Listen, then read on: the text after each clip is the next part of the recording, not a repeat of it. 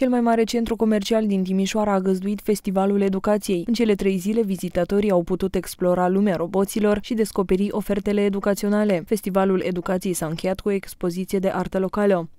Am avut Festivalul Educației. În prima zi am avut o zi de robotică, uh, ieri am avut o zi în care și-au prezentat uh, promoția educațională în mai multe licee și facultăți și astăzi avem o expoziție de artă care se numește Meraki, în cadrul căreia am invitat mai mulți profesori și de la Facultatea de Artă, dar și de la diferite licee, elevi, studenți, chiar dacă nu vin de la Liceul de Arte, de la alte licee cu alte profile.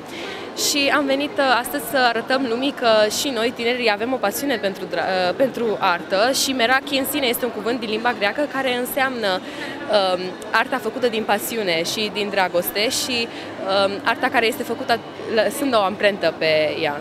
În ultima zi a Festivalului Educației dedicată artei locale, reprezentanții Liceului Teoretic Vlad Țepeș Timișoara au oferit vizitatorilor o expoziție de icoane pictate pe sticlă.